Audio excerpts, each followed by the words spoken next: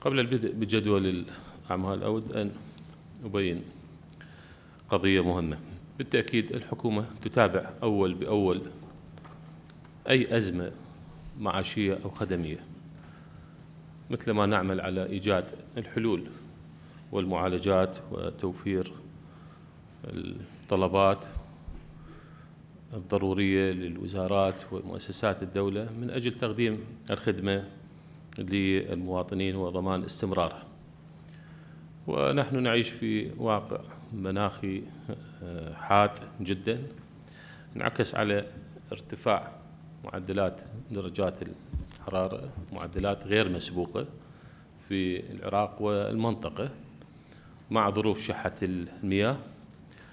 وعلى ضوء هذه المتغيرات بالتأكيد تنعكس سلبا على آه، واقع المنظومة الكهربائية وتوفر هذه الخدمة للمواطنين الذين عانوا طيلة سنوات الماضية من هذه الأزمة التي أصبحت أزمة نفسية.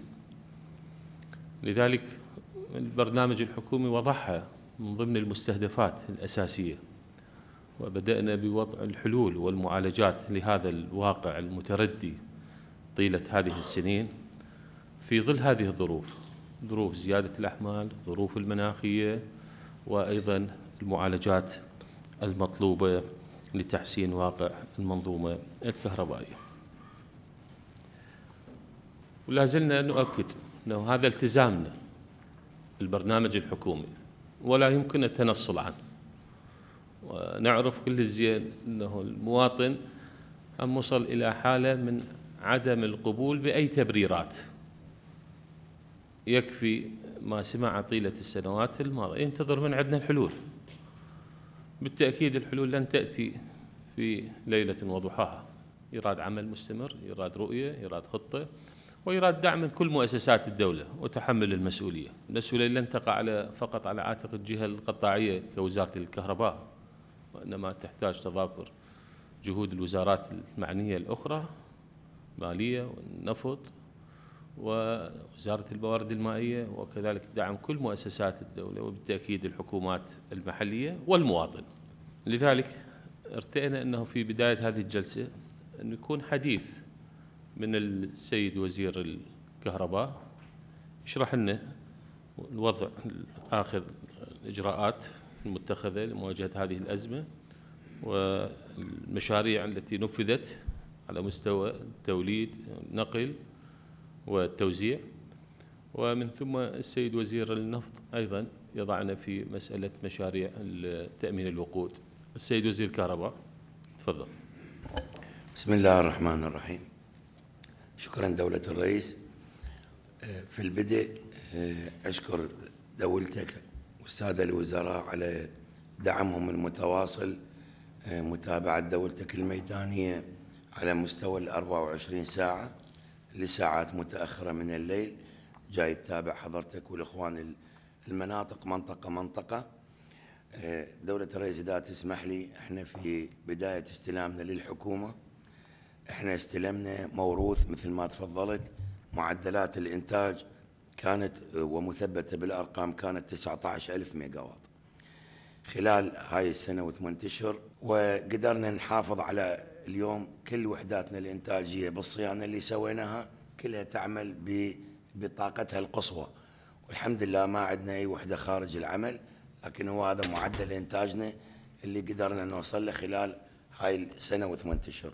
بال 2003 2003 كان معدل إنتاج العراق 3000 ميجا. الآن معدل إنتاج العراق 25700 كرقم واليوم بدخول صلاح الدين راح نتجاوز نوصل ل 26500 معدل نوصل ل 27000 شبكاتنا دولة الرئيس اليوم خطتنا كل النقل مرتبط العراق بدل ما كان خط واحد اليوم أصبح ثلاث خطوط. مع هذه الإجراءات أريد أتكلم أنا دولة الرئيس إذا تسمح لي على واقع الحمل الحالي. وإنه بعرج على الإجراءات اللي إحنا متخذيها. أنا عندي دراسة دقيقة من مركز السيطرة الوطني اللي تتكلم عن أحمال 21 6 2023 21 6 2024 21 6 على ضوء هاي الدراسة راح نبين إحنا وين المشكلة اللي صارت عندنا. بال 21 6 23 كان معدل الحمل المطلوب لعموم العراق هو 29 ألف ميجا واط. الحمل المطلوب حمل الذروة اللي يخلي المحافظات تمشي باستقرار كامل. دولة الرئيس نفس اليوم بالسنة الحالية حمل الذروة اللي, اللي ثبتناه بالأحمال 48 ألف ميجا واط بما معنى إحنا شهدنا بهذا تغير درجات الحرارة أكثر من 18 ألف ميجا واط حمل مطلوب. العام 29 السنة الأرقام اللي ثبتتها 48 ألف ميجا واط مع وجود زيادة بالإنتاج من العام للسنة وصلت ل 4000 ميجا واط لكن أكو طفرة كبيرة بالأحمال اللي ناتجة من هذا الارتفاع الكبير في درجات الحرارة. إذا أنطي مثاليا فقط في بغداد العام كنا نحتاج حتى نمشي 24 ساعة 7000 بنفس اليوم أنا اليوم أحتاج 10000 هذا النمو الكبير بالأحمال أكيد انعكس على ساعات التجهيز وبين أكو فارق بين معدلات التجهيز العام الماضي اللي كانت معدلاتها عالية 16 17 بين معدلات التجهيز آه، آه، هذا الصيف. هاي نقطة رقم واحد شخصناها. كل الأرقام كل الدراسات اللي جاي ندرسها تحكي على معدل نمو ما يتجاوز 5% بالعالم. إحنا للسنوات اللي مضت معدل النمو مالتنا 7% إلى 9% هاي السنة سجلنا نمو معدل نمو بالأحمال وصل 20% من 29 العام إلى 48 ألف هاي السنة. هذا إلى أسبابه جزء من أسبابه هذا يعني النمو الكبير أيضا إن شاء الله على مستوى الصناعي ولكن تفتيت الأراضي المدن هاي اللي جاي تنفتح آه، بشكل كبير. فهذا الارتفاع الكبير سبب لنا مشكلة يعني أولية. معالجتنا للأزمة دولة الرئيس اتجهت بثلاث اتجاهات. الاتجاه الأول جاي نعمل على رفع مستوى الإنتاج وإن شاء الله اليوم عندنا آخر وحداتنا الإنتاجية صلاح الدين 600 ميجا واط راح تنضاف وعندنا 250 إن شاء الله راح تنضاف. راح نقدر نوصل للرقم اللي إحنا يعني قدمناه بالمرحلة الأولى. حتى نكون دقيقين ظهرت عندنا مشاكل كبيرة بالتوزيع. على مستوى الإنتاج دولة الرئيس آه، هذا الرقم آه، بوجود كل وحداتنا بالعمل آه، تواكب مع أكو قدرة نقل جيدة. تجاوزنا مشاكل العام الماضي والقبلة والقبلة. أنا المشكلة دولة الرئيس بكل صراحة ظهرت لنا في قطاع التوزيع. قطاع التوزيع بمجموعة مشاكل. المشكلة الأولى هذا التوسع الهائل الاستخدام المفرط للطاقة. والعشوائية بالمدن. مع ذلك اطلقنا حسب توجيه دولتك حملة سريعة مكثفة راح نستهدف بها ننصب يعني كم هائل من شبكات النقل يعني شبكات التوزيع اللي تتضمن نصب محولات سريعة نخفف الاختناقات على الناس. انخفض عندنا بشكل واضح مستوى تقديم الخدمة. اليوم عندنا كل كوادرنا مستنفرة دخلنا شركات دعم وفتحنا المخازن لقينا واحدة من المشاكل أكو سوء بتوزيع المحطات. محطات تتوزع مو بمراكز الحمل. عفينا عدد كبير من المسؤولين وعدنا النظر بتوزيع عادل وفق احتياجات الناس. واليوم معدلات الشكاوى استجاباتنا نزلت بشكل آه، أقل من 30% دولة الرئيس إحنا حتى نحقق الحمل المطلوب كوزارة وكحكومة إحنا مضينا بحلول استراتيجية صحيحة. سابقا وأنا بينت لدولتك إحنا بال 23 شهر ال 11 آه، شهر 22 شهر ال 11 أنا جيت لقيت أكثر من 4000 ميجا واط دورات مركبة كان المفروض تنفذ 2014 في عام 23 الحكومة ومجلس الوزراء حسم كل مشاريع الدورات المركبة في 23 دولة الرئيس محطات الإنتاج ما يخفى على الجميع. عمرها التشغيل عمرها التصنيعي والتنفيذي هي سنتين ونص. أنا ما أقدر أنفذ محطات إنتاج آه، يعني آه، إذا مو عمرها الصحيح. دورات مركبة نعم في حكومتنا مضت بالطريق الصحيح. وإن شاء الله انفتحت الاعتمادات واليوم جاي نحسب وقت. نعم لو هاي الدورات بال 2014 15 16 17 22 21 أنا اليوم كان شغلتهن اليوم 4000 ميجا كلها قيد التنفيذ. إحنا الآن آه، عندنا توجهين مهمات. بس استعرضن أمام مجلسكم الموقر.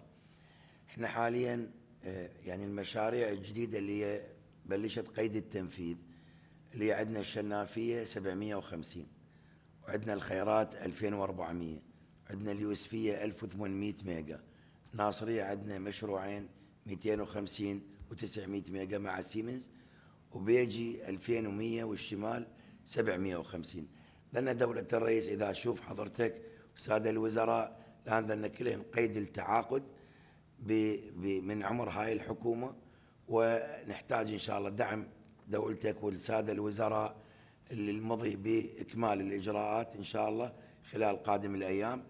والآن مع هذه المشاريع عندنا الأنبار المركبة 1700 ميجا واط آه، يعني دولتك زرتها ومعدلات إنجازها عالية جدا. مركبات بينتها هي قيد التنفيذ بحدود ال 4000 ميجا واط طاقة شمسية 3000 ميجا واط إحنا دولة الرئيس جاي نتكلم عن مشاريع آه، تستهدف أكثر من 15000 ميجا واط ابتداء من الجنوب للوسط إذا مثل ما جاي يشوفون يعني بالشنافية بالديوانية بالخيرات يوسفية ناصرية بيجي بالشمال بالأنبار مركبات في كل مكان. فهذه الخطة دولة الرئيس بدعم مجلس وزراء بدعم دولتكم قادرين على أنه تضيف إضافة كبيرة وراح نضيف طاقات شمسية جديدة أيضا تسهم بحل المشكلة. بنتحول على مشاريع الطاقة الشمسية دولة الرئيس إحنا استلمنا الوزارة مشروع واحد نص ميجا. جراج وزارة الكهرباء. اليوم إحنا عندنا أربع عقود قيد التنفيذ تحكي عليه 3000 ميجا واط وعندنا موافقات الآن جاي نمضي بها لطاقة رياح وطاقة شمسية. نعم هي هاي المشاريع الاستثمارية. مشاريع القروض تحتاج وقت للغلق المالي تحتاج وقت للبنوك لكن هي الآن كلها قيد التنفيذ. إن شاء الله راح يبين ثمرتها بنهاية يعني خلال السنتين. إلى سنتين ونص من تاريخ المباشرة مالته وفق الرؤية دولتكم اللي إحنا قاريها وجاي نشتغل عليها مع مجلس الوزراء مع اللجنة العليا للاستثمار إحنا مستهدفين 32 ألف ميجا واط وهذه جزء من عندها عانى من وفق قرارات مجلس الوزراء درجناه ضمن الاتفاقية الإطارية الصينية. ومجلس وزراء دولتك اتخذ قرار شجاع وحوله على التمويل. والسيدة وزيرة المالية سيد وزير التخطيط مشكورين أطلقوا التمويل لمشاريع 4000 ميجا بدون غاز والآن مضت في حكومتنا. نعم تحتاج سنتين ونص. إن شاء الله الأسبوع القادم كل المواقع نزلت بها الشركات. وحضرتك وجهت فريق المتابعة الحكومي بنقل كاميرات مباشرة لمواقع العمل والآن بدينا بالصح. كل العالم ينصب بسيطة ومركبة في آن واحد. إلا إحنا. اجينا لقينا البسيطة منصوبة والمركبة ما موجودة. إذا إن شاء الله وفق الرؤية وهذه الخطط اللي جاي نمشي بها إحنا مستهدفين الحمل المطلوب. أنا ما يعني ما أتنصل عن المسؤولية دولة الرئيس. لا زلت أعاني من مشكلة حقيقية اللي هي مشكلة التوزيع. جزء من عندها ما ما أخفي عن دولتك. جزء من عندها سوء إدارات سوء تخطيط سوء توزيع لموارد الدولة. لحد الآن أنا وصلت أكثر من 12 ما بين مدير وما بين مسؤول. قطاع باللحظة عفيتهم من مسؤولياتهم وجهت أنه الأولوية للناس للمشتركين الحقيقيين.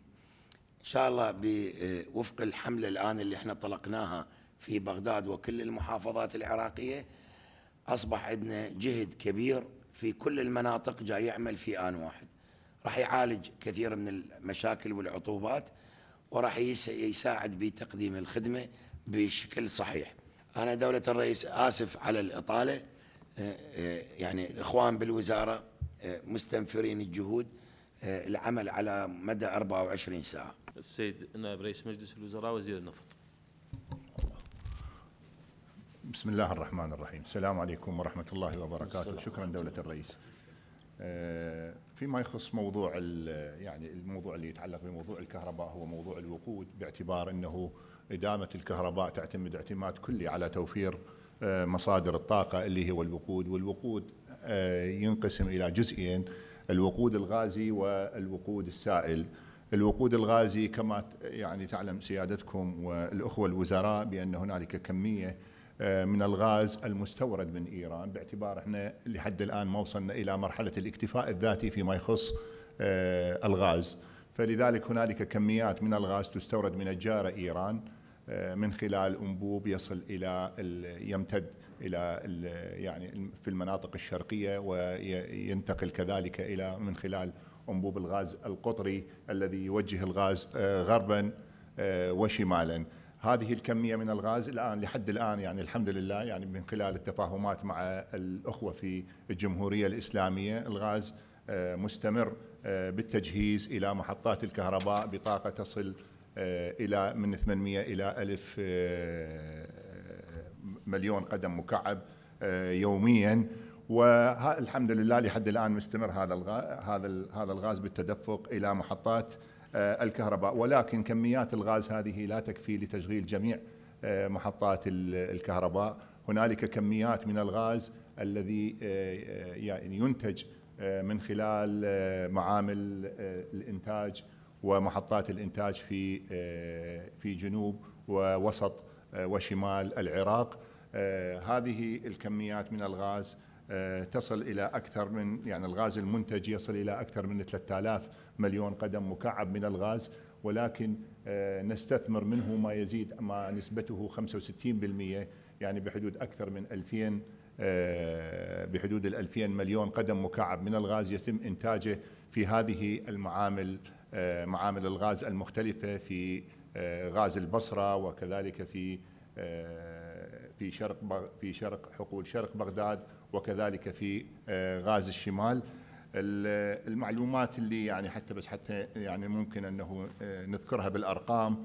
كمية الغاز المنتج عندنا حاليا اليوم هو بحدود 3150 مليون قدم مكعب. هذا كغاز خام. إحنا من الغاز الخام كما تعلمون يعني يدخل هذا الغاز إلى وحدات المعالجة ويتم تحويل آه، يعني فصل السوائل من هذا الغاز وإنتاج الغاز الجاف. الغاز الجاف الذي ينتج آه، بحدود الأكثر من 2000 آه، مليون مليون قدم مكعب والغاز المحروق هو بحدود ال 1100 مليون قدم مكعب. بما نسبة نسبة الغاز يعني هنالك بس حتى للاستعراض آه، الكميات الغاز التي كانت أو نسبة الغاز الذي كان يستثمر آه، خلال عام 2022 يعني مع بداية تشكيل الحكومة الحالية هو 53% آه، من خلال تنفيذ عدد من المشاريع المختلفة من خلال غاز البصرة وغيرها من المشاريع الأخرى. تم زيادة النسبة إلى 57% في عام 23 آه، وازدادت هذه النسبة إلى أكثر من 62% خلال هذا العام. وهنالك زيادة ملحوظة إن شاء الله في آه، مع نهاية هذه السنة. كما تعلم سيادتكم يعني كنت آه، سيادتك على رأس الوفد اللي راح لافتتاح مشروع الحلفاية. هذا المشروع الاستراتيجي بالنسبة لنا لأنه يعامل 300 مليون قدم مكعب من الغاز. كانت أكثر من 50% منها يحرق. ولكن يعني سيادتك افتتحت هذا المشروع وازدادت كمية الغاز المستثمر من آه، من هذا المشروع إلى أكثر بحدود ال 200 مليون قدم مكعب. آه، أما البقية من ال 300 فهو تتحول إلى سوائل وهذه السوائل أيضا هنالك آه، يعني منهاج للاستفادة من عندها.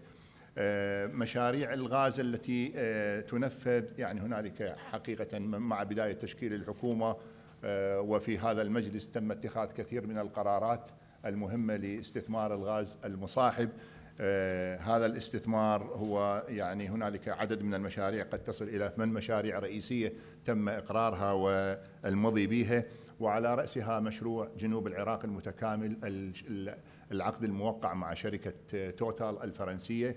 هذا المشروع يتضمن آه، استثمار 600 مليون قدم مكعب من الغاز آه، من خمسة حقول نفطية الآن يحرق فيها الغاز. هي حقل مجنون وحقل غرب القرن اثنين وحقل اللحيس وأرطاوي وحقل الطوبة هذا المشروع آه، يعني بدأ في من تاريخ آه، فعل العقد من تاريخ 26 8 2023 ويمضي الآن بخطى واضحة ويعني آه، وملموسة من خلال الاجتماعات والتعاقدات التي قامت بها شركة توتال.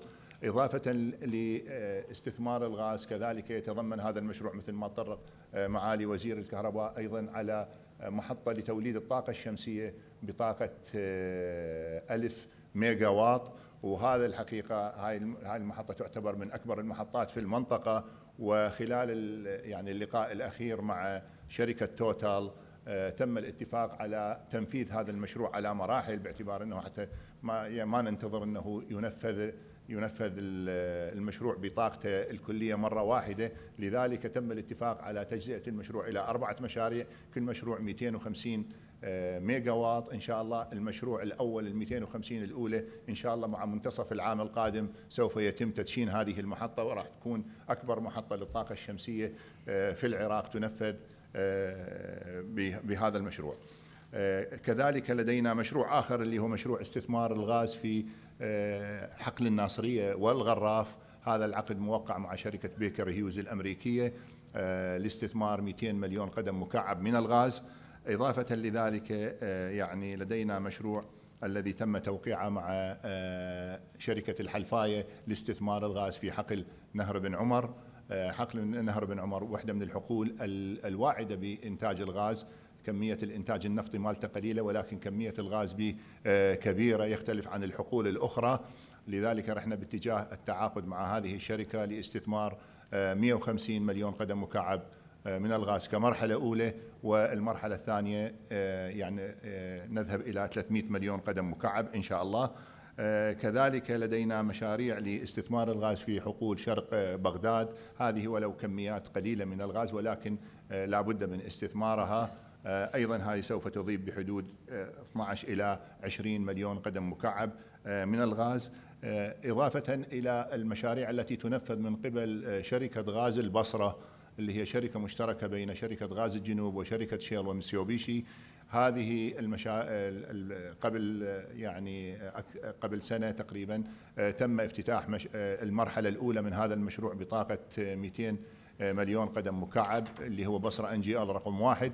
وإن شاء الله مع نهاية هذه السنة سيتم افتتاح المشروع الثاني الجزء الثاني من المشروع اللي هو أيضا بصرة NGL رقم اثنين. بطاقة أيضا 200 مليون قدم مكعب آه، من الغاز. إضافة لذلك يعني آه، الوزارة عقدت بعض الاتفاقيات مع الشركات العالمية كشركة GE وغيرها من الشركات لاستثمار الغاز غاز الضغط الواطئ لأن هنالك مشكلة في عملية استثمار هذا الغاز ولكن نحن حرصنا على استثمار كل الغاز الذي يحرق حاليا وإيقاف هذا يعني موضوع حرق الغاز آه، وتوجيهه باتجاه الصحيح وتسليط هذا الغاز إلى الشبكة الوطنية لتجهيز محطات الكهرباء. فوقعنا مذكرة تفاهم مع شركة جي إي والآن بصدد آه، إعداد برنامج العمل مع هذه الشركة لاستثمار هذا الغاز أيضا. آه، كذلك يعني الوزارة وشركة آه، من خلال شركة آه، نفط الوسط استطاعت من يعني تنفيذ المرحلة المعجلة من استثمار غاز عكاز هذا المشروع هنالك بعض الآبار التي كانت محفورة بعد انسحاب شركة كوغاز الكورية من العمل. استطاعت هذه الشركة من لملمة بعض المعدات والمنشآت وربط الآبار المحفورة بهذه المنشآت واستطاعت من استثمار 40 مليون قدم مكعب من الغاز. آه هذا يعتبر مرحلة معجلة لهذا المشروع الحيوي اللي أحيل الآن إلى إحدى الشركات الأوكرانية. آه لاستثمار 400 مليون قدم مكعب من الغاز إضافة لذلك يعني تم توقيع آه، العقد الخاص باستثمار غاز آه، المنصورية. هذا الحقل اللي ممكن أنه ننتج من عنده 300 مليون قدم مكعب من الغاز. وهذا العقد آه، إن شاء الله وقع بالأحرف الأولى بين وزارة النفط وبين الشركة المرشحة. وإن شاء الله سوف يعني ينفذ هذا المشروع. إضافة لذلك هنالك لدينا مشاريع أخرى التي وقعت مع بداية الحكومة الحالية اللي هي مشاريع المشاريع التي كانت محالة ضمن جولة التراخيص الخامسة وكانت معطلة آه، بسبب بعض يعني بعض الاختلافات. ولكن الحمد لله استطعنا من آه، المضي بتوقيع هذه العقود مع الشركة آه، المرشحة. لاستثمار 800 مليون قدم مكعب من الغاز. من خلال هذه المشاريع إن شاء الله سوف يتم إيقاف جميع الغاز الذي يحرق حاليا وزيادة كميات الغاز التي ممكن أن تستثمر آه، تصل إلى أكثر من 5000 آه، مليون قدم مكعب من الغاز. آه، بإنجاز هذه المشاريع إن شاء الله سوف يتم إيقاف استيراد الغاز من الجارة إيران أو من أي مصدر آخر. إضافة لذلك نحن في في هذا المجلس تم اتخاذ قرار بإنشاء منصة لاستيراد الغاز المسال في الفاو وتم الاتفاق مع شركة تكنب الفرنسية آه، كشركة استشارية آه، ولها باع طويل في آه، في هذه المشاريع. والآن نحن في يعني في تقدم مع هذه الشركة ووضع برنامج برنامج سريع لإنشاء هذه المنصة لاستيراد الغاز المسال وتوجيه الكميات طاقة هذه المنصة ممكن أن تصل إلى 800 مليون قدم مكعب من الغاز آه، يوميا. نستطيع أن نستورد هذه الكمية من الغاز. آه، والمشروع أيضا هذا يعني سائر بالطريق آه، بالطريق الصحيح. هذا فيما يخص الغاز. إضافة لذلك طبيعي جولة التراخيص الأخيرة اللي هي الخامسة التكميلية والسادسة بالإمكان من خلال تنفيذها بالإمكان أن تنتج لنا أكثر من 700 مليون قدم مكعب من الغاز أيضا. لذلك إن شاء الله نحن يعني ماضين بالاتجاه الصحيح ولكن كما تعلمون مشاريع الغاز تحتاج إلى وقت لتنفيذها لا يمكن تنفيذها بهذه العجالة. لذلك يعني إحنا مثلا في مشروع جنوب العراق المتكامل مع شركة توتال آه، تم الاتفاق مع الشركة آه، تنفيذ المشروع على مرحلتين بهدف الاستفادة من الغاز بشكل عاجل. فكانت المرحلة الأولى خلال ثلاث سنوات والمرحلة الثانية آه، في السنة الخامسة يتم إنتاج آه، أو أو إكمال المشروع المتكامل ب 600 فلذلك سوف نستفاد خلال يعني خلال ثلاث سنوات. مضى من عدها تقريبا الآن بحدود السنة بقى سنتين نحن نحسب مع هذه الشركة لاستثمار 300 مليون قدم مكعب من الغاز خلال هذه الفترة. خلاصة هذا العرض نستطيع أن نخرج بمجموعة قرارات أو توجيهات. من المهم لوزارة الكهرباء بكافة ملاكاتها الفنية إكمال الصيانات الاضطرارية اللي هي بحدود 1440 ميجا واط هذا ممكن تدخل للشبكة. أيضا إلغاء كل الاستثناءات الممنوحة سابقا لمراكز صناعية تجارية رسمية. تلغى هذه الاستثناءات والكل يشمل بساعات التجهيز. يعني في هذه الأشهر ثلاثة الأشهر عندنا موضوع معروض أمام المجلس اللي هو يتعلق بتخصيص مبالغ للوقود للمولدات الأهلية ضمن الملحق. آه، أيضا بعد آه، قليل يعرض بتفاصيله لاتخاذ القرار. آه، واللي يساهم في زيادة ساعات العمل للمولدات الأهلية وتجهيز المواطنين بالكهرباء. المشاريع الطاقة الشمسية اللي هي 2250 تم المباشرة بها وكان يفترض أحد المشاريع ينطينا بحدود ال 100 ميجا خلال هالشهر. فصار تأخير بعض الإجراءات. يحتاج متابعة مستمرة لهذه المشاريع. خطوط الكهرباء مع تركيا مع الإقليم وكذلك شراء محطات التحويلية. والطلب الثالث يتعلق بالموضوع المولدات الأهلية. المحطات الجديدة مشاريعنا اللي إحنا بدأنا بدراستها فنيا. هذه يفترض تحسب محطات الناصرية والشنافية والخيرات والمسيب الصدر الجديدة البارحة كان عندنا اجتماع على هذا الموضوع. ونريد رأي فني نهائي وأيضا آه، محطة الفاو في ميناء الفاو الجديد. إطلاق الأموال على وزارة المالية. إطلاق الأموال إلى شركات وزارة الصناعة اللي تمثل ديون سابقة على وزارة الكهرباء. لا موجودة هذه اللي ذكرها السيد وزير الصناعة. هذا الرقم موجود. أيضا سيادة الوزير الجانب المهم هو إجراء تقييم للملاكات القيادية بالوزارة. أكو خلل في مسألة التوزيع. ذكرته الحكومة بتخصيصاتها بالموازنة الاستثمارية بالبرنامج الحكومي ما قصرت مع الوزارة وخصصنا الأموال واشتريتوا المحولات واشتريتوا الكيبلات وكل المستلزمات. قبل العيد جنابك اضطريت تنزل بنفسك للمخازن لمحطات وأقسام الصيانة وتباشر بعملية فك الاختناقات. وين كانت هذه الشركات؟ المدراء العامين الوكلاء المشرفين على هذه العملية. بديهيات عمل وزارة الكهرباء. هذا خلل تتحمله الملاكات القيادية اللي موجودة. فانتظر من عندك تقييم إضافة إلى الملاحظات التي لدينا. لن يكون هناك أي تساهل مع أي مسؤول يقصر في واجباته هذه خدمة يفترض تقدم للمواطن ونكون مستعدين على طول الوقت.